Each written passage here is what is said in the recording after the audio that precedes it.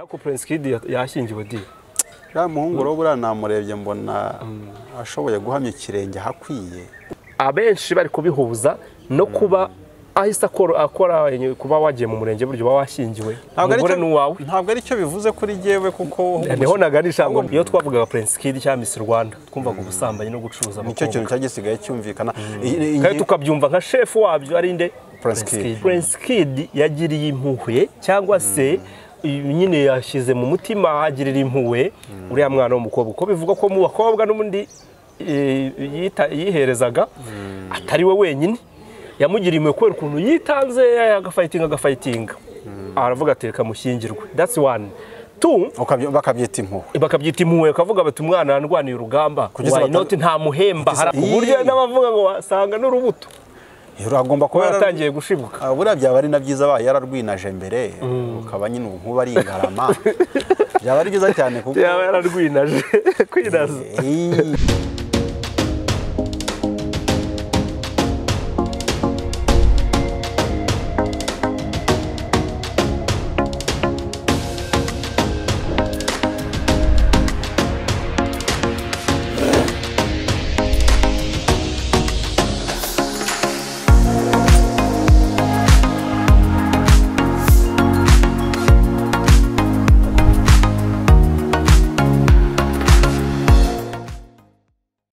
nanone turabashurije cyane bakunzi ba connection tv kaze kuri connection tv kaze mu biganiro byacu bya buri munsi tubagezaho. Nitwa uringimana patience bahaye ikaze muri iki kiganiro ni ikiganiro tugiye kuganira n'ubundi eh, turi timu y'abantu babiri ndi patience ndetse na modeste. Tuba tuganira ku ngingo zitandukanye uyu munsi rero dufite ingingo tugiye kubaganirizaho tubahaye ikaze kugira ngo mubane natwe. Modeste nawe nguhaye ikaze nubwo wamaze kwinjira mu ikaze. Asante sana. Ndigwaye bose babireba. Eh, ku karubanda. Ku karubanda. Tugiye kuganira rero uyu munsi eh, dufite ibiganiro tuba twiganirira ariko burya iyo duhuje n'abantu tukababwira uko abantu baga uzi ko ari abantu ba- benjoyinga kumva abandi baganira. Nta kintu avuga ariko ubundi iyo abantu burya barimo abaganiriza nyirizina biba enjoyable hari hari umuntu umwe ugeze kumbwira ati njyewe nkunda umuyobozi. Nkamukundira ko avuga nkumva ntabwo nshaka kumurekura kufunga amatwi yanjye ngo ngende kandi abantu nk'abo babaho ugasanga umuntu arabafasha bafashe nk'amasaha nk'abiri abaganiriza. Yego. Ya hari abantu bazi kuganira ku buryo ariko burya biryoha iyo hariho ibiganirwa bitanaze neza hari ingingo ko yumvikana hanyuma n'uburyo eh, abaganira bikirizanya cyangwa se umu- umujyo w'ibitekerezo. Ni- ni cyo gituma abantu bashobora kuba baryoherwa. Hari umugabo uyu mugabo bamporike eduwari buriya ni umwe mu bantu baganirizaga abantu hano muri ubu buzima butari ubwo muri gereza akabaganiriza ukumva nyine bimeze neza. Mpamya yuko n'ahari hariya atabura kubaganiriza. Mm, hari abataramyi bamutaramiragaho ngo najye kwimana u rwanda muri gereza. Hari ibintu byo kwibana iyo imvugo ni we wayi- wayigize wayi- watumye tu- tuyimenya cyane. Yari ihari. Yari hari arayamamaza cyane. Arayamamaza. ifata indi ntera cyangwa se abantu bongera kumenya icyo ivuze. Ya. ya rero kuganira burya nta gisa kuganira ni ingenzi. Dore no mu bukwe bashyizeho gahunda y'abasaza baba baganira abantu bamwe bigize abasaza bakajya kuganira ukajya ubona ariko modeste mbwiza ukuri nta na rimwe urajya kuganira mu bukwe. Eh, naraganiraga zikangizazo ariko nyuma bitangiye kuza nk'amakuta nsanga byaba bitaye umwimerere nyawo. Ndabizibukira. Iyo uyakorera se nawe ko mu nta gikomere mu cyayo bihe byanjye yari make. Mm. nuko nsanga wanga kuyashyira ku yandi. nsanga nkwiriye kuba niranze. Ngo nibura icyo gihe nta nzara nari mfite mu bihe bya mu bihe nari ngezweho nganira abantu bakabikunda. Ntekereza ko babikumbuye kandi nibakomeza kubikumbura baka nibanshaka bazambona. Ntabwo uba wumva uri kwinigana ijambo? Ajwi kuko aho kuganirira mfite hagari. Eh, burya nta rugabisha birenge ujya ubura abagabira rero aho kuganiraho ndahafite ubwo na yo ngize impungenge yuko burya iyo ufite icyo ushaka kuvuga cyangwa se wumva hari ibiganiro biguhoramo ukumva wabuze aho bitambutsa hari igihe warwara bwake kubura uruvugiro Uza kuvuga. uza kuri connection tv nuko uruvugiro rukaba rugari Eh. kaganira.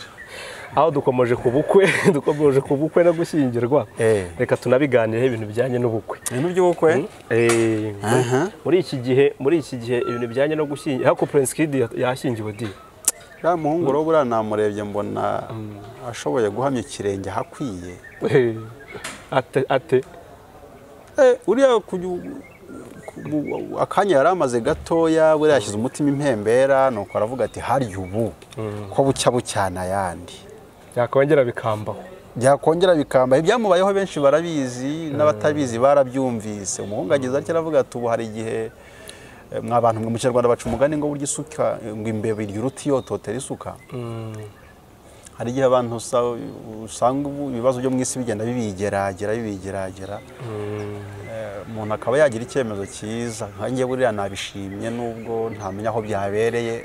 Ntabwo mukunda kubikurikirana buriya muratubwira. Ariko ubundi icyo gitekerezo ni cyo reka tubaze tubwire abantu badukurikiye wenda ni inkuru iri ko abantu benshi bazi. Prince Kid barabizi yuko yagiye hari ibyaha yagiye ashinjwa n'ubushinjacyaha bifitanye isano n'ibyaha byabereye muri Miss Rwanda. Kuri bariya bakobwa bagiye batsinda arafungwa abantu benshi bavuga ko bishobora no ku- kumuhama agaheramo ejo bundi urukiko rumugira umwere arafungurwa nyuma ubushinjacyaha burongera bujurira icyemezo. Eh, urukiko rwafashe eh, bavuga bati ntabwo tunyuzwe ubu hariho kujurira bizaba ndumva ni mu kwezi gutaha niba nibuka neza. Ubushinjacyaha bwajuriye? Navuga buti Eh, nagaruke ntabwo imyanzuro mwafashe ntabwo tunyuzwe. Ubwo hakaba hakaba abenshi bari kubihuza no kuba ahise akora akora kuba wagiye mu murenge buryo uba washyingiwe. Umugore ni uwawe ntabwo ari cyo bivuze kuri jyewe kuko ni ho naganisha ngo numve umbwire mu kinyarwanda hari imvugo mu gifaransa hari imvugo ivuga ngo la nuit porte conseil cyangwa se mu kinyarwanda umuntu agenekereje. Ntabwo nzi umugani byahura mu kinyarwanda ariko burya umuntu aryamye akami ka muntu ni umutima we. Ngira ngo ni ho byajya kujyana. Buriya benshi mu basore bino. Hari ubwo hari imbogamizi bajya bahura na zo ugasanga byarabakerereje gushinga ingo. Eh, isi tubayemo itera ubwoba abantu bakibwira ko gushinga ingo bifitanye isano n'amakuta. Amahera amafaranga. maze uze koroshya imvugo. Uze koroshya imvugo dore harimo abantu nka ba Olivier ba- bari hari Olivier ni umuhungu udufasha hano kuri kamera. Nk'ubu aba ari kwibaza ati nk'ubu modeste ibintu avuga ari ibiki? Ntabwo babura kubyumva. Hari abantu bibwiye ko kugira ingo bifitanye isano n'amafaranga. Ariko nanone bashiki bacu nabo cyangwa n'ababyeyi bo muri bino bihe ngira ngo nimo babiganisha bigatuma rubanda batinya. Ndavuga abasore. Bavuga bati ntabwo wakwishora. Ku mukobwa w'abandi kuko hari n'umuririmbyi wabiririmbye ngo nta joteme Erega n'igihe wamwishora akakwanga. Yii, noneho ugasanga kuko ibyo ubu bikunze kubera habona ugasanga utaye nibaba bikaba byakerereza n'injyana y'abajyaga kukwemera abandi. Abantu rero bagiye bagira ubwoba. Ku bw'izo mpamvu hari abantu bajya babitindamo ugasanga batinze muri ibyo ntibashinge ingo. Ariko nk'uriya we nshingiye ku bibazo byamubayeho nkeka ko yashyize umutima impembera akavuga ati ariko ko hari igihe bikwigeragera ariko bikarangira binakugejejemo. Wagira ngo washinge urugo rero ntekereza ko hari ibintu wenda yaba yara- yarakomeje gukererwa akomeje kuba mu cyane cyane akuriye amafaranga ntabwo yari Urabona uriya musore- ahubwo reka nkubwire ntabwo ari amafaranga nyine nakubwiye ngo ha- ni- imwe mu mpamvu nari mvuze. Ni muri nyinshi. Urabona uriya musore yari amaze igihe imbere y'abakobwa bamuca imbere bagenda amatereka mfizi. Muri- Miss Rwanda. Amatereka mfizi iri kugenda gute? Kurya baba bagenda nyine. bagenda babusanya amaguru barya babyita kumoga Eh, ntabwo ari amaguru imigendere y'abari beza kuriya. Ariko hari igihe mbona benda kwitega. Ni nk'uko kose ariko burya baba babyitoza ariko ingendo y'abeza noneho rero. Abantu mugenda muri cyane modeste bakuye mu beza. Waba se umuntu ugenda nkanjye koko ukamushyira mu beza. Noneho- bajya ngo bakina umupira. Ugize uturya. Ubwo urumva eh, hari igihe umuntu atinda nk'imbere y'abariya eh, muri kigali cya rwanda barimo beza cyane birazwi ndavuga abakobwa no kubera gutindamo eh, gutegura cyangwa kugira inzozi zo kugira uwe bwite babana hari igihe ubundi aba yumva ari nk'igihombo kuko byamwambura urugwiro yagiranaga n'abo bose. Ega nushaka ko bivuge mu mvugo yumvikana byamwambura kwitamirira abana yisanzuye. Eh, kuko arakubita iburyo akarya umwana. Yamara kugenda akazana undi. Ariko iyo ufite umuntu mubana mu rugo hari igihe bigukostinga cyane. Eh, uretse no gutamira umwana ukamujyana iyo uretse no kugukostinga icyo gihe bigushyira mu nshingano zindi. Ngari zagutse ziruta izisanzwe noneho ukaba wavuga uti si ubwo hagira n'umbona nitwa se wa naka cyangwa umugabo wa naka. iyi noneho rero ugasanga nk'ibyo byaba ari bimwe mu byamukerereje. Ariko noneho nawe reba eh, ngira ngo igihe bamwigerageraga n'ubundi eh, ngira ngo bya bintu bya Miss Rwanda menya sinzi niba bizasubiraho ariko nabizanasubiraho menya atari uzaba bi- kugeza ubu ntabwo turamenya icyemezo babifatiye. Ariko ngira ngo byanasubiraho nkeka wenda atakongera kubiragizwa. Eh, birashoboka ko buriya buriya ariko anabiragijwe yaba ari uburyo bwiza bwo gukiriyaringa izina rye babyemeye Uvuze aba uti, afite kubishyira mu byaba ari nka kwa nshingano. kundi ngo ushaka guhima igisambo. Arakibitsa. Ntabwo ariko ntabwo ubusambo bwamu- bwamuhamye. Buriya impamvu nari mbivuze impamvu nari mbivuze buriya iyo iyo mu matwi y'umuntu nako mbere y'uko aba umwere iyo twavugaga Prince Kid cyangwa Miss Rwanda twumvaga ubusambanyi no gucuruza ni cyo kintu cyari gisigaye cyumvikana kandi tukabyumva nka shefu wabyo ari nde? Prince Kid. ingingo yanjye rero itaraba inkenekene cyangwa se ngo inacogore ikayuke eh, urebye yaba yarakoze icunduguturabwonko akavuga ati no reka mbivemo. Kuri wowe urashaka kubona ko Uretse ari, ko ari bishobora- puresha yagize puresha yo kuvuga ati ngize ubwoba ubwo ndashaka kugirira agahinda. Uriya mukobwa wari wagaragaje no kumwitangira avuga ati hari ibintu bibiri there are two things involved. Urumva? you either marry me dore ikintu cya mbere. Hari hanze abantu bavuga ngo Prince Kid yagiriye impuhwe cyangwa se nyine yashyize mu mutima agirira impuhwe uriya mwana w'umukobwa. Uko bivugwa ko mu bakobwa n'ubundi yita- yiherezaga atari we wenyine. Yamugiriye impuhwe kubera ukuntu yitanze agafayitinga agafayitinga aravuga ati reka mushyingirwe. That's one. Ukabyo- bakabyita impuhwe. Bakabyita impuhwe bakavuga bati umwana yarwaniye urugamba. Not? Nta muhemba. Hari abantu bagiye bandika. inyiturano. Eh, cyangwa igiturano. Oya ariko ishobora no kuba ataba n'inyiturano Eh. hakaba ahubwo ari kimwe mu kintu cyamugaragarije ko uriya mukobwa mukunda bya nyabyo akamwitura nawe ntibyaba n'inyiturano akigirira neza avuga ati reka muhamane Eh, akikunda, kuko biragorana kugira ngo wakwitanga wakwitangira kugeza ubwo nawe arunguruka muri gereza biba ubwo bigoye nawe ni mu mboni yawe niko ibintu uri kubyumva. Hari abandi bavuga bati Prince Kid yagize ubwenge. Arareba aravuga ati gereza ntawe umenya ikizavamo ejo bundi. Wabona banshubijemo reka nkwakwanye baranavuga ko n'ubukwe bugomba kuba muri uku kwa gatatu. Eh. Ubukwe nyine buri gusaba no gukwa ni- n'ibindi nk'ibyo byose ariko biriya ni byo biranga ubugabo nyine atereka nkubite mbangure mve mu nzira ubundi ubwo bushobozi bwaboneka butaboneka nafungwa ntafungwa ariko byibuze nsige hari icyo nkoze ku buryo n'abavuga ngo wasanga n'urubuto uragomba kuba kuba yara- yatangiye gushibuka. Ah, buriya byaba ari na byiza abaye yararwinaje mbere ukaba nyine ubu nkuba ari ingarama. Byaba ari byiza cyane kuko yaba yararwinaje. Kwinaza akaba yararwinaje mbere ku buryo nk'ubu ngubu rwaba nyine ruri rurimo rurakura eh, rugeze mu bihe bitari bibi. Eh. kandi burya bajya baca umugani mu kinyarwanda ngo umuntu ni icyo asize. Umuntu ni cyo asize. Mm, kandi umuntu nyine burya udafite umukomotseho aba arumbye.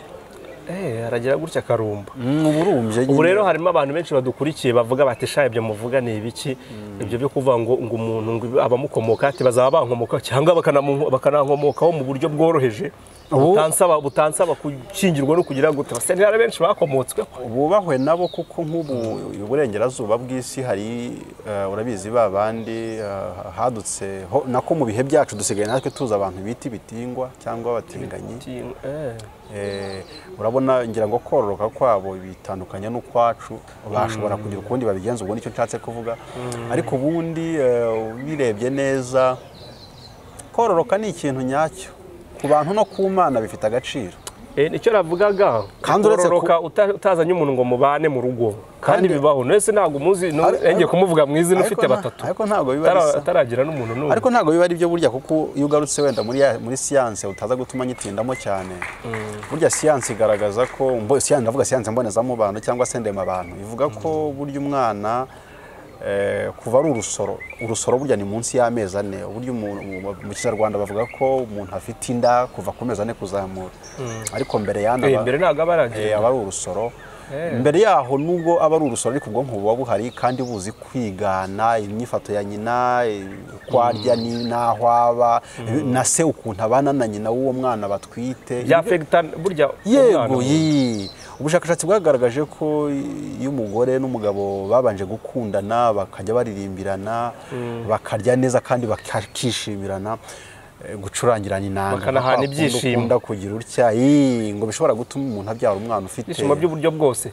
Eh, bw'iburyo n'ubumoso ubwo hasi no hejuru ngo bishobora gutuma umwana bagafatira mu maguru mashya muri ibyo bintu bijyanye oya ahubwo mu gihe uri mu maguru mashya eh, bikarimbanya kabeka ingashura yuko. Oya bigakomerezaho ariko burya bimaze n'ibihe ushobora gutuma umwana avukana ubwonko bwagutse cyane kuba azaba umuntu mwiza ntabwo mvuga uburanga gusa nabwo burimo ariko nyine ushyira mu gaciro uzi kubana n'abantu bitewe n'umubano se na nyina babanye. Ubwo rero burya iyo uteye umuntu inda hakagenda wowe. Uba ugiye kuzabyara umwe mu bana bazongera ibibazo mu isi. Ubwo ndabishatse kuvuga ngo uzashibukana ubugome bitewe n'uko nyina igihe yari amutwite adafite se Yari afite agahinda. yari afite akantu k'umuhari niko mu byitubu cyangwa inabi ashi- a- arakarira se. Uwo mwana nta rukundo aba ashobora kuzamugirira namba eh nawe akurana ubwo yego. avukana ubwo uwo burakari mwana nk'uko bakopera nyina umwana iyo ari mu nda ibyo nyina akora avuga arya anywa aho ari umwana aba abyigana. Ubwo inshingano zo kurengera uwo mwana tuzishyire kuri nde? Kuri nyina? Nyiri kumutwita reka nicecekere eh? Nyina se yabishobora ati urumva nyina yari akeneye urugwiro none yarubuze. Eh, hari abakobwa baba ari nk'intwari. Noneho akagerageza kwihangana. Eh, ntagire urwango nubwo we yanzwe abo bantu babaho. Nk'ubu nta rwango nkanjye wanyanga ngo bigire icyo bigufasha. Bigira icyo gihe byakimfasha ahubwo nta na ngira ngo kimwe wowe nta na kimwe oya mvuze ko we ntacyo byagufasha kuko burya umuntu akubabaza agendereye ko nawe ubabara cyangwa uremererwa. Ngiye unyanze ubusa n'unyagiza inkoko. Gute modeste inkoko harya nitoha. Eh, nta kintu biba bibwiye igira gutya igahita ivuga iti ifite ibintu bisa n'amabati bisakaye. Aho Ibyo- ni iyindi ngingo. Ni iyindi ngingo Ni ukuvuga ngo rero iyo umuntu yabyaye ariko atabana n'uwo babyaranye eh, bibabaza abo bana bikabahindura abantu batari beza mu buzima.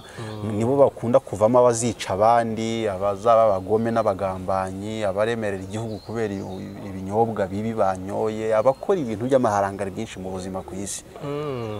Ubwo rero ntabwo twashyigikira. Ye hari abantu hari abantu muri ino minsi bavuga bati njye ntabyara ntafite umugabo. Single mother tera ubundi or a n'umugabo single father." umugabo ni stress umugore ni stress. Ariko burya ubigenzuye neza banyihanganire menya ari indwara. Ako ni akamesaje wabahaga nk'umuntu uzi ibijyanye n'imikorere ukita uko ushaka Y'umuntu. niganirira. Ariko igihe ikintu ikintu rero ndebamo noneho nkibaza. Oya nibabyarane babana kid n'uriya mwana w'umukobwa. Imana kandi izanabibafashe. Oya bahire none n'iteka ryose. Bazabane eh, ubundi anabyare.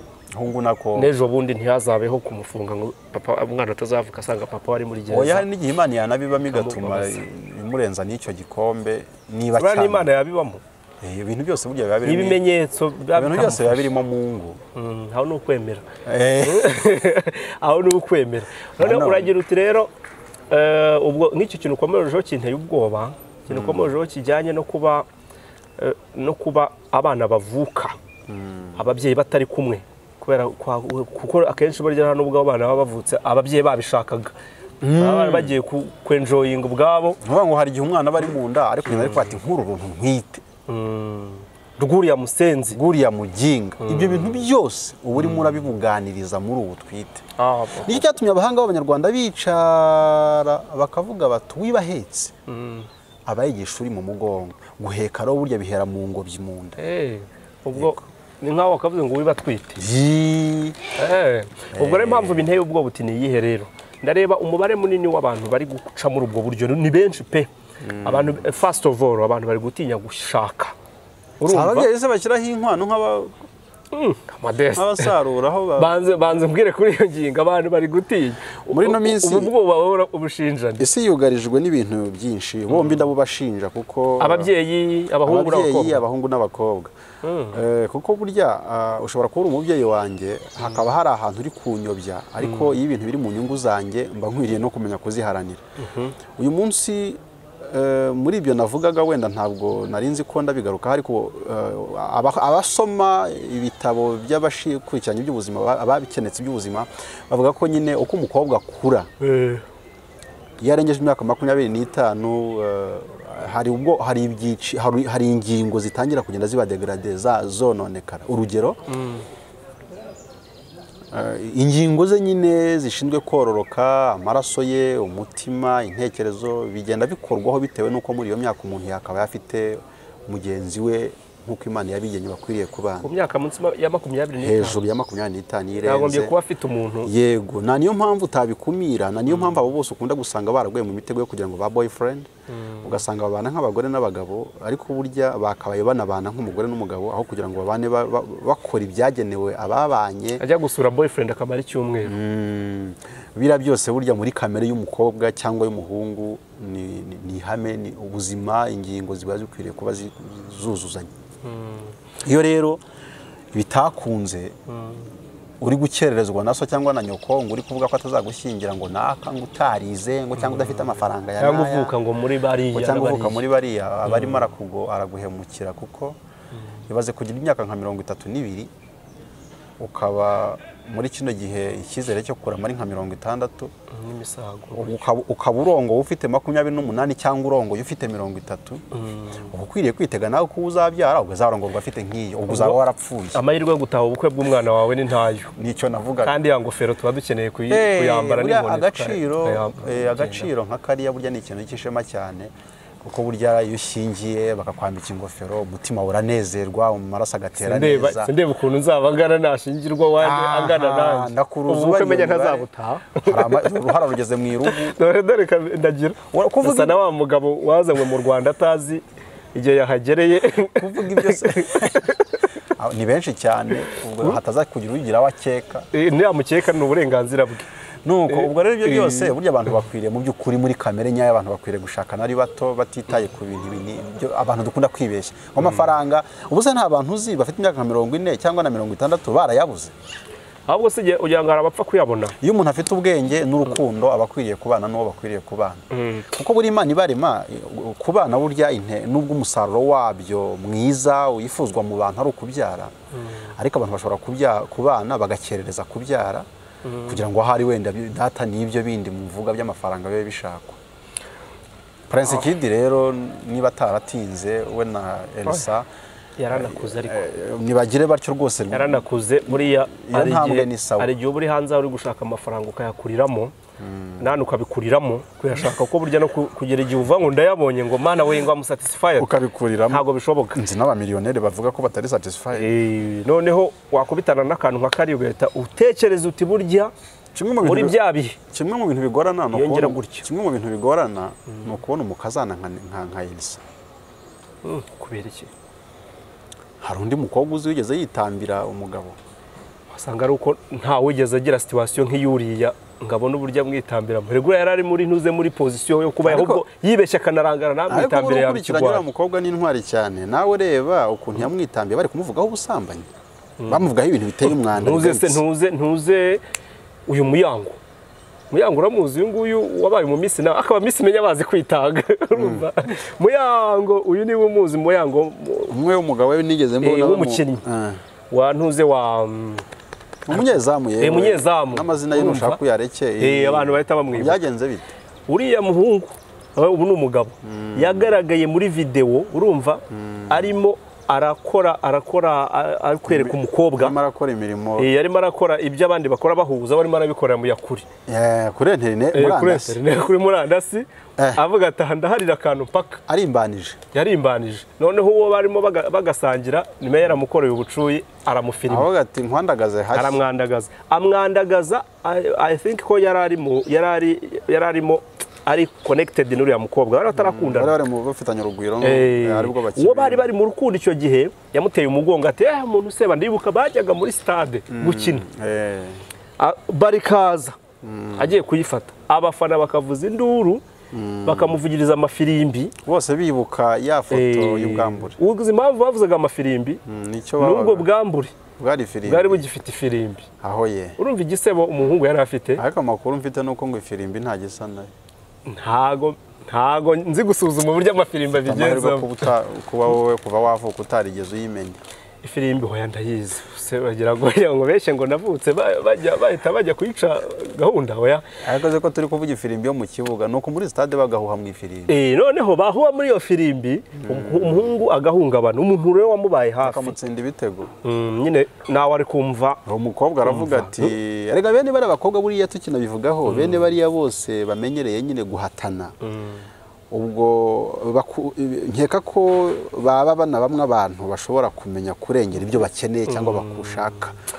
Birashoboka kuba abakobwa baciye mu bamisi ntabwo baba boroshye urebye mm, intwari. n'ibindi reba mi- misi misi jori uyu mukobwa ntabwo yavuzwe muri ibyo by'ubusambanyi ariko yavuzwe kenshi bamu- bamuharasinga. Bamwe ngo arasa na Michael Jackson. Abandi ngo ni we mukobwa ngo rururururu wabwirwa n'iki niba atari byo yaharanira agasenyi Mm. akiyanga ariko biba bigoye niba ari byo waba uhanaharanira ariko biba bigoye kuza kubona abantu hanze baberwa bakuvuga bagutama wigeze wumva bavuga ko dusa? Ko musa we nawe iyo bavuga ngo turasa ni bwo twari kumenya wenda ko byamubabaza. Ariko kugusa na Michael Jackson. Ah, oya si ukuvuga ngo ni Michael Jackson? Bahuzaga na Michael Jackson se amateka ya Michael Jackson ntuyazi. Si umugabo se waririmbaga byabuze urugero twese tukamumenya atarigeze ajya rino waje guhinduka n'izuru ryari rya kigabo rigahinduka nk'iry'umukobwa n'umuzungu? None hari ikibazo. Uruhu rwari umukara rukaza guhinduka urw'umuzungu. Hari ikibazo ko yari umugwiza atunga kandi aririmba abantu twese tukamukurikirana. Ibyo biba umugayo muri rubanda igihe ushaka kub- kubajabuka ukajya ahandi. Inzozi utarose ntuzikorera imigambi. Utiki wabwirwa n'iki niba atari izo nzozi yaharaniraga? Ah, kandi yaragendaga yesa imihigo. Oya ubwo mvuga kuri Michael Jackson interviews zirahari.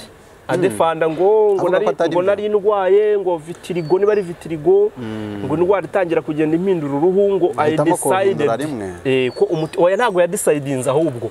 Umuti bamuhaye wagiye utuma aho kugira ngo akire uruhu ruhinduka. Bya nyabyo. It was a defense. hari n'agafoto nabonye kari gafite ikirenge kimeze uh, nk'urubaho. Ka Michael Jackson? Oya ni agafoto k'umwana w'umukobwa nkeka ko yaba atari n'amano ameze nk'abana b'intoryi. Eh, eh, b'amateke. Ujyaho n'abana b'amateke ukuntu bameze. Eh, igitsi- cyangwa tangawizi. igitsinsino cyari kiriho cyari kimeze nk'icy'inkuba. Noneho ayo manono mu gitabo. Ayo manono Igitabo inkuba ameze- imeze nk'isake ayo manono ameze nk'ay'amateke Eh, wagira ni abana b'amateke cyangwa se tangawizi. Itangawizi ubwo rero bigaragara ko kwabaga ari ukumutondagira ariko bita- Eh, kuko ushingiye ku dukweto twiza nako tureture njya mbona yambara arya mano se wayakwirwaho cyangwa kijya gitsinsino kimeze nk'icy'inkuba ntabwo cyakwiramo. Rero bigaragara ko kwabaga. Iyo wabaye icyamamare eh, abagutondagira baba benshi. Ariko nanone niba ari inzozi warose uba ukwiriye kuziharanira kandi igihe uri kubona uri gukakamba hafi eh, y'umusozi eh, wusirizaho imwe mu migambi wari warihaye nta gisa na byo. Urabareka bakavuga hanyuma reka karavani igatambuka cyangwa ubwo se rero ibyo urimo ubwitange bwa elisa nta birenze yaciye mu ruganda kubera ko na bagenzi be tubona benshi bagiye bagira ubwo bwitange. Urwo ruganda yarunyuzemo. birarenze bira- birarenze kuko mu kinyarwanda basanga bizwi ko ngo ngo umugabo mbwa se kimbohe burya kubohwa ni kimwe mu bintu. Rega menya ko burya byari bikomeye cyane kuko umuntu ufunzwe cyangwa se uri gukatirwa bene biriya byaha nawe urabona ko aba ashobora gusabirwa imyaka itari mike. Eh, kurwana kuri bene uwo rero uribuka ko yigeze anakurikiraho ngo guhimba inyandiko agambiriye gukiza uriya musore. Sha urukundo ni rwogere rwogere ruriya rwaba ari rwo ndetse. Abantu benshi nagiye mbona bapostinga bavuga bati muri intwari urukundo turuzi, mu mafilime nka sikiributi baba banditse. nka rwa rundi rwa Juliet and Romeo. Mm. sha kabisa. Eh, Juliet and Romeo muri Roma mperuka gusoma ndi nko mu wa kane wayisumbuye mu ishuri ry'indimi n'ubuvanganzo. Sha, barakundanye n'indi nkuru hari n'indi nkuru nabonye. Iyo ni muri filime yitwa notebook. Eh, harimo Noah Karihuni. Ndamwibuka Noah Karihuni n'umukecuru we barakundana kugeza bapfuye. Bakaza no gusinzira bafatanya ibiganza bagahita bapfa bagapfira rimwe. Ni inkuru ziba ziri aho zashingiye nayishingiye kuri kuri Roma yanditswe. Ukunda Ubwo- gusanga haraje nk'ibizazane ariko abantu bakanakundana bigatinda. Mm. ubwo rero ni ibyo ariko icyo ubwo tugeze kuri ibyo wanjijishije. Hari ahantu nigeze kuvuga ngo mfite ubwoba. Mfite ubwoba mfite ubwoba bukomeye bw'uko access uh, hari abantu benshi babu- babuzwa imbaraga zo gushaka. Babishingiye ko icyo bakeka ko gushaka ari cyo bamaze kukibona. Urabona eh, reka eh, bamaze kuri icyo kintu eh, Eh. afite amafaranga afite inzu yo kubamo akenera umukobwa akamubona. Yego. N'imporute kere mukobwa wenda arabo adakenera cyangwa se batabasha kwagisesinga ariko umeze nka we aramubona. Kandi akaza bya bindi umugabo akenera. ntacyo yigomwa Eh, rwose akaza yitanze wese akavuga ku buntu ndashaka umugore w'iki. Aho ntihakwiye kuba question mark modeste mbwira. Oya nta question mark. Hariho ibintu bibiri. Ushaka gukomeza kuba mu buzima uh, benshi nk'abaturanyi b'i Burundi bita kudandaza amagara cyangwa se kwipfusha ubusa iyo rwakajyaga ni amahitamo mabi ariko biterwa n'uyahitamo nshobora kuyita mabi ariko hari abavuga ko ari byo bibabereye. Eh, icyo ni kimwe. Ariko ku ruhande ruri rwo wari uvuze ku ngingo yo gushyingiranwa. Ubusanzwe ingorane ihari muri kino gihe bitewe no kubura uburere mbonezamubano kuba tugiye tubaho abantu batabana n'ababyeyi ariko n'ababyeyi rimwe na rimwe bakaba bakomoka muri twebwe tutazi indangagaciro eh, z'abantu. Ubundi umuryango abantu nyine bamaze guta konsepte yawo ariko ubundi umurya- umu- umu- muri bino bihe dufite ingorane z'abakobwa bashaka kubera barambiwe kuba iwabo. Ha- tukagira n'abahungu bubaka ingo cyangwa bashaka Gushyingirwa. bitewe n'uko babonye amafaranga. Eh, abo bose baba bafite zeru kuko nta rugo rushobora kubakwa n'ibyo byombi cyangwa kimwe muri ibyo. Kimwe gusa gishobora kubaka urugo ruzahirwa n'uwiteka ni uko umuntu yaba yakunze mugenzi we kandi akaba afite intego nziza mu hazaza. Intego nziza ni ukuvuga iki? Nk'urugero kugira umuryango uzazanira ubushyu- ubushyuhe ababazengurutse. Kugira umuryango uzaba ishema ry'ababa- ry'abababyaye. Kugira umuryango uzabyara abantu bazabagirira akamaro kandi bagatera n'ishema igihugu bakomokamo.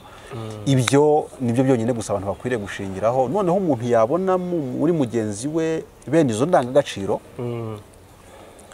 bagira amahirwe bashimana bakabana batyo. Hari umwuka tugendana nawo byanze bikunze ubuze ukabyivanga mushobora kuba mwiza cyangwa mubi ariko iyo umuntu afite intego nziza araziharanira mpaka zigeze birangira biciyemo kandi n'imana nyine ikabihira kuko ngewe nemera n'imana cyane.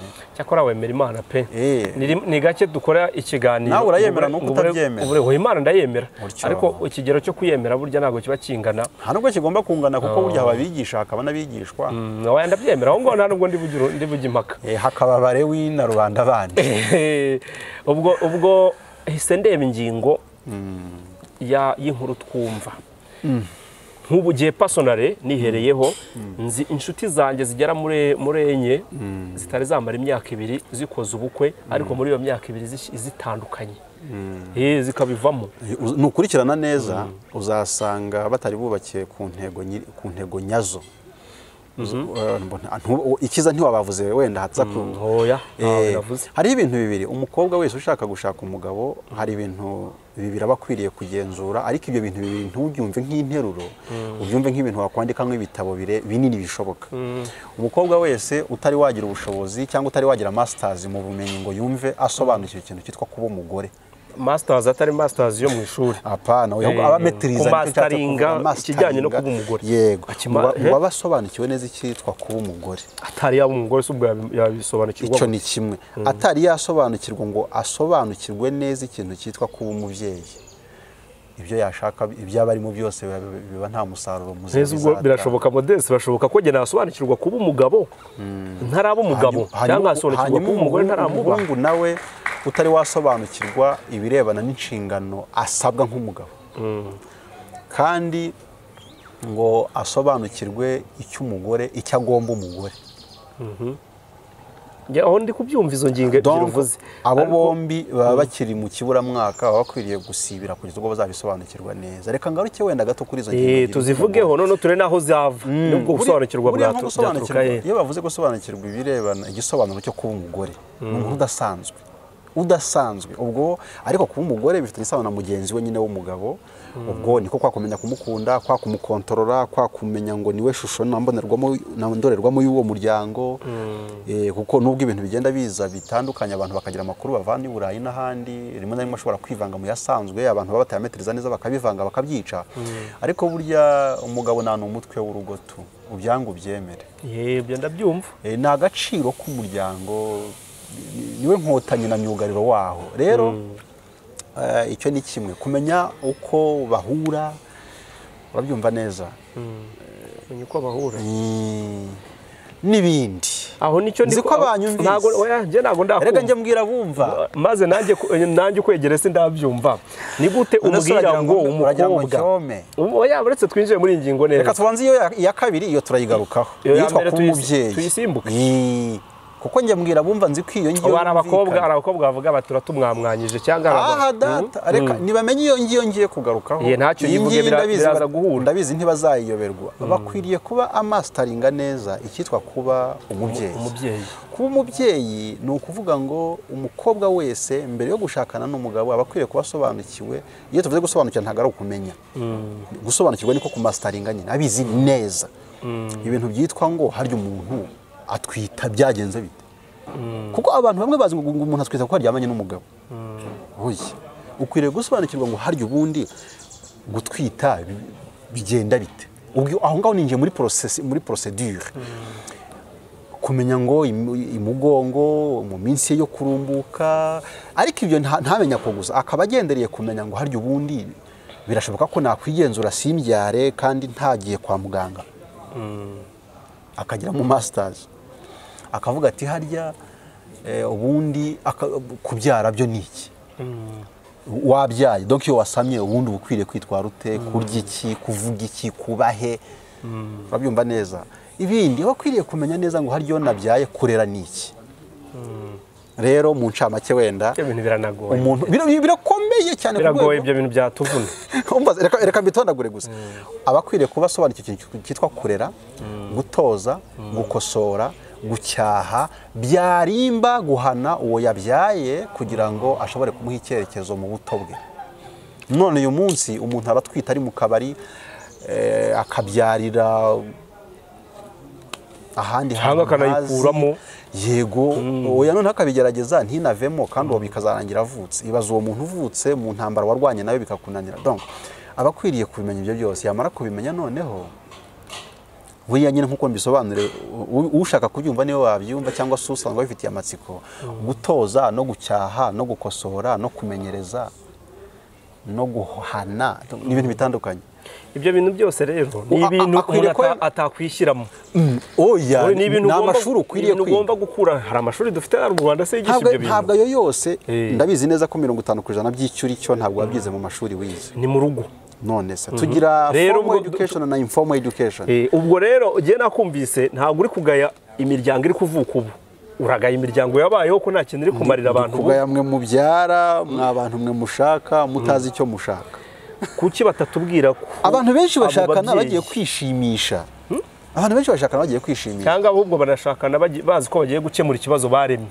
Hari abantu tuzi benshi bagiye babana kubera yuko baryamanye bagatwita. Voila izo ni ingorane ni ubutamenya umuntu akifata akavuga ati yewe uyu se." muhungu nubwo ndi kubona atari nk'umugabo. Ariko nzitwe ko nagize umugabo. Ariko nanone nawe uri kuvuga ibyo. Ubwo ni uko nawe udafite indangagaciro udafite nta mugore ukurimo menya ari ibyo. N- ariko burya ko ibisa bisabirana buriya akenshi ntidukurura ibyo dusa na byo.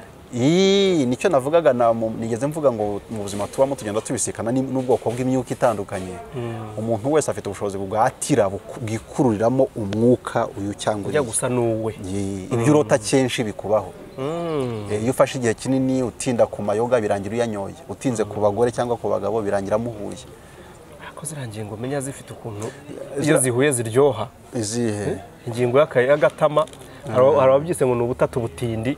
Niba arimo abwamagana ubutatu butindi agatama numva nawe ubuzi ntabwo nabuyoberwa agatako gakomoje numva agatari ko ngiye kukiga ni agatama. Agatabi. Eh. ewe yabyise agatesha umugabo umutwe. Eh, n'agatako. Eh, ubwo niko gatako niko gatesha umugabo umutwe uburyo uzareba ugateye ijisho Eh, utakemerewe ni agatama agatabi n'agatako. Eh, bishobora kugushora ahantu hatari heza na busa. Navuga ni kombinezo yabyo menya igira ukuntu iba imeze nka melange y'ibyo kurya ku muntu ushonje bwita ubutatu butindi. Eh, ni ubutatu butinde ubutatu butindi muvandimwe ako gatama ako gatabi n'agatako. Gashobora kukwicira itako ugasanga kabaye. Ariko hakaba n'igihe ariko nanjye kuvuga ngo akaba igengo byanoga bikagenda neza ahantu harimo agatumuka n'akagotomerwa. Ntabwo bishobora gukunda. Ntabwo byakunda. Hari abantu bajya bashaka kubyitiranya bakavuga ngo "Ah, ngo ngo aba- a- urabona abakunzi b'agatama iyo bagahaze ni ngombwa ko bikuza agatako.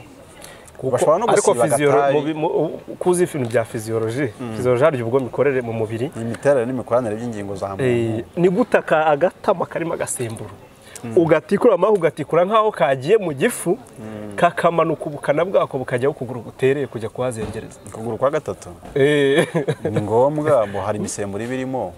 Ariko nyine twibukiranye ko bihera muri systeme nerveux cerebro centrale mu gihorihori eh, bikayobya ubwonko. Birabuyobya ariko bikaba bifitemo n'imisemburo ishobora gukora icunduguturabwonko eh, nzahura urugingo. Noneho rero aho ngaho nyine amaraso agatera ari menshi agepfa. Mm. birangira rero nyine ibyemezo uri gufata bitewe n'uko na byo bitari korodone ushobora mu- byinshi mu bintu warabukwa biba birimo ibishuko. Mu buzima busanzwe turashukwa nk'uko mu buzima bwa- bwacu buri muntu yifitemo imisemburo eh, imbuto za kanseri ariko twese tutayirwara. Niko twese duhura n'ibishuko n'ubundi ariko bifata aba- aba- abaworoheje iyo Ubuzima gushyiramo rero eh, eh, akananiza bitekerezo eh, kwibuza bene ibyo bintu ubwonko bukubeshya ko biryoheye amaso cyangwa se ari byiza biba bi- ntuba ukibishoboye nyine. Niyo mpamvu akenshi ibyo bintu byombi bijyana. Iyo umaze ariko hari gusoma igihe n'umusemburo utera akamorari umuntu akajya akanagira n'ubwenge bukabanguka nubwo uvuga ngo buba bwabuyobeje. Genza umuntu twiganye nawe urabizi urumva w'umudamu. Mm, iyo yagasomaga. Twagiye gukora perezantasiyo akavuga ati igihe ntabwo na perezanta ntasomye akantu. Oya n'abantu ntihagire ujya kurwishoramo kuko rufite ibyo rwangiriza ariko eh, urumogi ruri mu byongera umuvuduko w'amaraso umutima kandi iyo amaraso byari kwirukanka eh, eh, n'amashanyarazi y'umuntu arihuta ubwo gufata ibyemezo na byo bishobora kwihuta. Eh, ariko mbaze ngo ni bwoko bw'ihe byemezo. So utari urutari rwakubata birashoboka ko reflex nerve zawe zishobora kwihuta.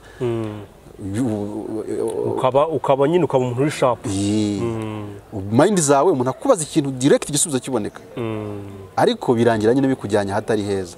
So ntabwo bitangaje. Ibi bintu byose nubwo bigira ububi ariko bigira n'uduce duto twiza. Ku buryo nta washima ngo uhitemo gushaka utwo twiza unyuriye muri izo nzira kuko hari ahandi wabibona. Ariko eh, nuko biteye nyine bigira ibibi byabyo n'ibyiza byabyo. Ariko twahitamo gu- kubishyira iruhande kubera ububi bwinshi bigira buruta ubwiza. Abantu baranararuka se nibuka kuraruka. Oya porosikidi ntagubwe neza.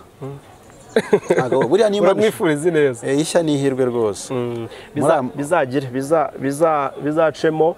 Ubwo ikintu twavuga wenda mu bijyanye na predictions birashoboka yuko burya burya ibintu by'ubutabera ni kimwe mu bintu ni kimwe mu bintu utajya hariya ngo wihandagaze ngo bi- ngo bigomba kugenda bitya. Kubera ko amategeko ataba nk'ubupfura. Eh, hatsinda ibimenyetso ukagira imana hatsinda ibimenyetso.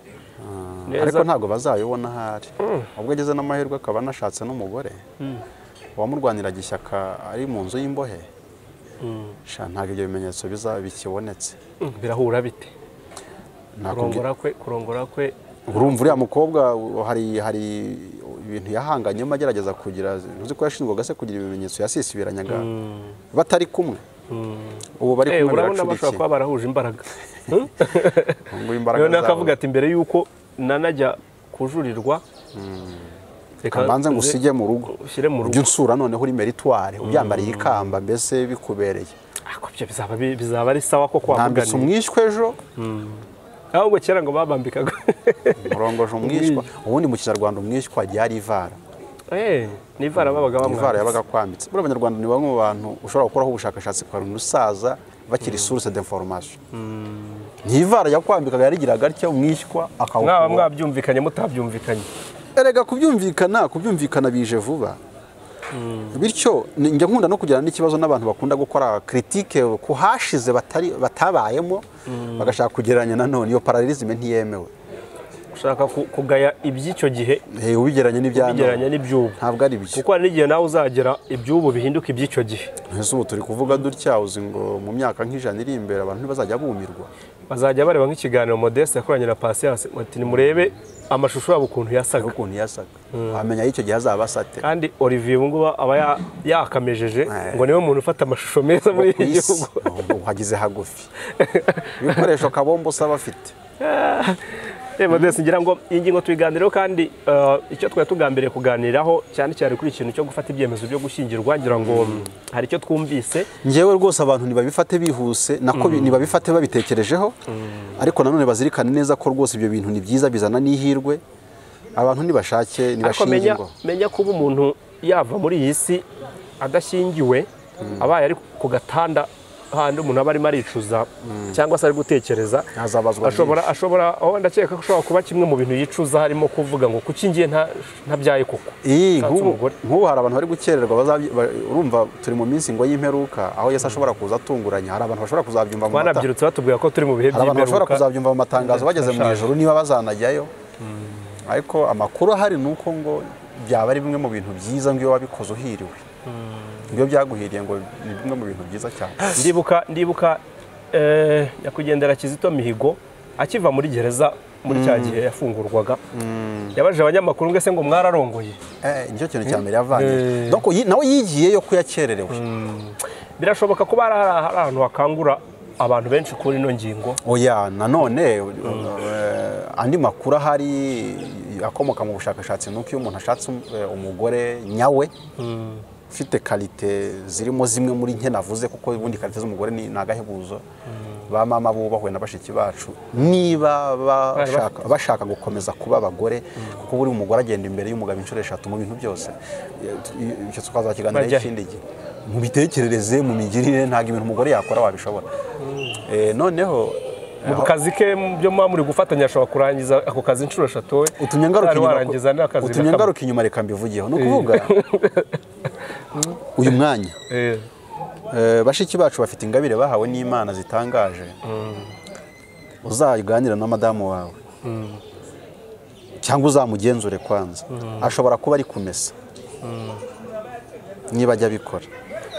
Akaba ashyize telefone ku gutwi ari kuyitaba atya atetse n'amata ku cyikoni. Mayindi ye iri kumayindinga amata ari no kumesa ari no kumesa ari gucungana n'ibitsira biri mu myambaro n'umuntu bari kuvugana ak- bakavugana neza. Ibyo bintu uzabigerageze nubishobora uzambipe. Ngiye no kwambuka umuhanda mpekenya shikarete birananira. Iyo ngiye kwambuka ndayicira nkajya gutya nkabanza nkanyaruka. Pole sana cyangwa nkayijugunya urwo ni rwo rugero nkunda guha abantu. Abagore bashiki bacu bafite ubushobozi bwinshi cyane ahubwo bupfa ubusa. Bupfa cyane bupfushwa ubusa ba sogokuru baratubeshye ngo umugabo ni agatangaza yego koko hari icyo turi cyo? Nyine abantu baba batandukanye. Abagabo bagira endurance abagore bakagira kunoza cyane rafineri kunoza cyane make fine ibintu ni, ibintu byabo. Abagabo bakagira ubwo bushobozi bwo gutegura ahubwo gupuranifiya Eh, ibintu. ariko barapuranifiye ariko ibyo bintu umugabo yategura nk'umwaka abihaye umugore ubiteguye u- u- ubivuze ukavuga uti ndashaka kubaka inzu igahanga ifite etaje ebyiri eshatu. Ariko ndi kuyoberwa uko ibyumba n'aho yaba yerekeye n'ibindi bindi wowe wamara nk'ukwezi uri kubitekerezaho uri kubihaha umugore nko mu minsi atatu yaba yabirangije. Niba ariko nanone ubwo bushobozi basanzwe? nanone ntitukabigira ibintu rusange eh, Eh, harimo n'abanyantege nke n'abanyantege nke mu birebana n'ubwo bushobozi bwo gukora ibintu. hari umuntu ujya uvuga ngo mujye mutegera inama mujye mutegera amatwi kumva inama z'abakuru. Tukirengagiza yuko no muri abo bakuru babaye batoya kandi icyo uri cyo muragendana.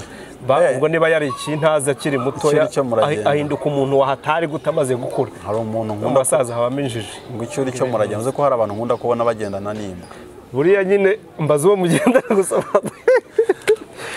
ni ugutarama. hatagira umuntu ugendana n'imbwa akavuga ati abahungu barantutse imbwa c'était na mifidele ariko eh, buriya tukiri kuvuga kuri presikidi umugore nyawe aba ari umuhanuzi w'umugore we. W'umugabo. We w'umugabo we. Ariko ubwo arakantu rero kubaza umbwira uko byumva. Ubwo bushobozi imana yihereye abagore. Tuma nyine bagira iyo potential kuturusha muri ubwo buryo. Tugashyiraho na leta z'ibihugu n'iyacu irimo hashyizweho polisi y'uburinganire. Buriya nti ubwuzuzanye. Eh, byarahindutse ntabwo byitwa uburinganire mu buringanire mu- mu buringanire bw'ibitsina n'ubwuzuzanye mu mibereho. Twitinda kuri iryo jambo kugira ngo ridateza saga. Ngo ngenda ngira ngo nawe ngende mu buryo numva. Yego nta noneho cyisanzure guhuza iyo ngingo n'ikoreshwa by'uko bamwe bayikoresha na bwa bushobozi imana yahaye umugore ntibishobora kumurenga akabyijuta yamara kubyijuta ukabona turabona amadivoruse menshi menshi menshi menshi atajya asubira hasi bitewe n'uko imiterere y'umugabo umutwe w'urugo nk'uko wahoze ubivuga n'imiterere y'umugore wamaze kwijuta bimwe byose n'ukuntu yaremwe n'ibyo yahawe biri mu nyandiko bigatuma kubaka urugo bimunanira. Ubushize tuganira narakubwiye ngo iyo umuntu akomeye ntajya ashaka kwikomeza. Ku muntu ufite ubwenge kamere bwa nyabwo bitari ibingibi abantu bibeshya ngo kwiga. Ku muntu ufite indangagaciro ufite n'ubwo bushobozi kamere bw'iyo mitekerereze navugaga ntabwo kumenya ko abifite byari bikwiriye kumutandukanya n'umugore cyangwa n'umugabo. Ibyo ni ibyari bikwiye kuba. Ntibyari bikwiriye ahubwo kuba byamubera si- ntibihari. Hanze aha ariko si icyo kibitera. Ikibitera ni za mpamvu zituma zitera abantu gushakana. Abantu benshi bashakana kubera ko arambiwe kuba iwabo ari kumva ashaka kwitwa umubyeyi cyangwa akeneye umuntu umusapotinga mu buryo buri finansiye cyangwa umuhungu nawe ngo akeneye ngo kumva ngo yitwa ngo umugabo. Ariko bakayoberwa ngo ikikugira umugabo ni iki? Kimwe mu bintu bigira umugabo umugabo ni umugore nyawe. Uzasanga abahungu benshi batari bazi gusokoza ariko yashaka umugore ukayoberwa aho byavuye. Ukabona yarahindutse. Ugasanga umuhungu rwose inkweto ze zashoboraga gukora igitaramo abacyumvise bari hafi bakaba ari nko muri metero ijana. N'udusimba turi aho ngaho tugendagenda tugapfa ugasanga umuntu yari umwuka. yari yararemye ifumbire ry'utuzizi iwe mu rugo. N'amasogisi yarabaye nk'amadongo. Isogesi ari nk'idongo ku buryo rihanutse rikitura nko hasi ryaturika ububombe ariko yashaka umugore. Ukabona yaba umuntu uri simati wa. Rero umugore yifite nk'ubushobozi kurya ari bo batubyara bifite nk'ubushobozi butubumbabumba iyo babaye nyabo. Ariko nyine kubera impamvu z'intambara uburere buke abantu benshi nyine ukunda gusanga twarabaye abantu bo ku muhanda. Mbe- mbese no kwigira n'uwo mugore uba warigiye ku wundi mugore nawe utari ushobotse.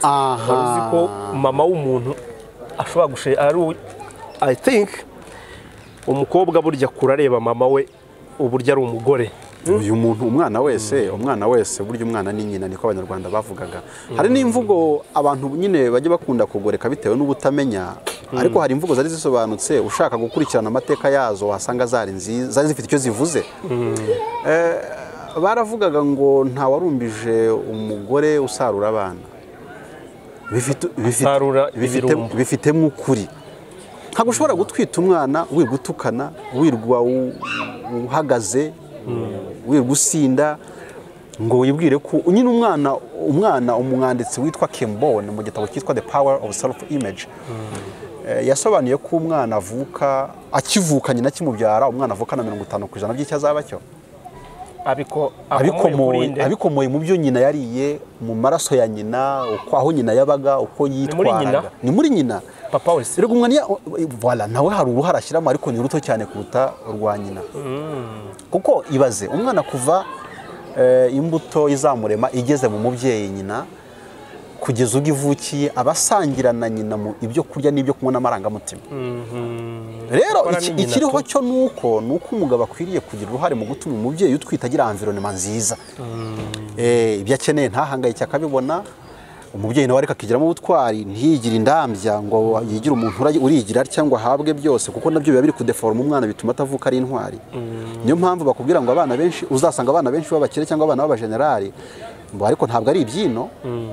Eh, ukunda gusanga hatarimo intwari nka ba se cyangwa nka- ba nyina. Kubera iki? Iyo abana bavutse barahari nabo wasanga bahari. Iyo abana bavutse ibyo sindabimenya. Eh. iyo abana bavutse ba nyina nta kintu bitayeho bameze batyo nabo ni uko bavuka bameze.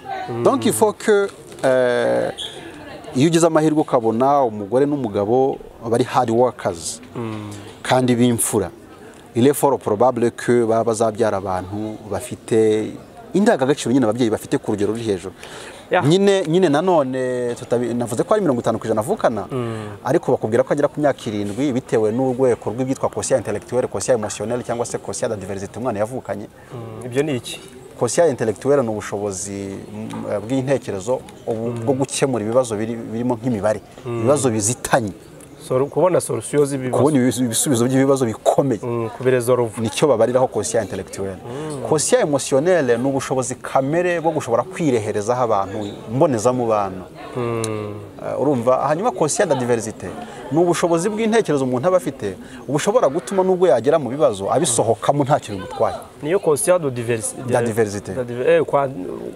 Iyo- iyo- adversaire iyo- ukahangana na byo. adversaire mubana mute. Ku buryo ubana nawe ntumuhemukire nawe ariko ukisosoramo nta kibazo. Ukamenya ngo se ubundi niturwana birabyari biragenda bite? Ashobora barakubwira ngo uwanga abandi atiyanze ngo agira ngo murwane.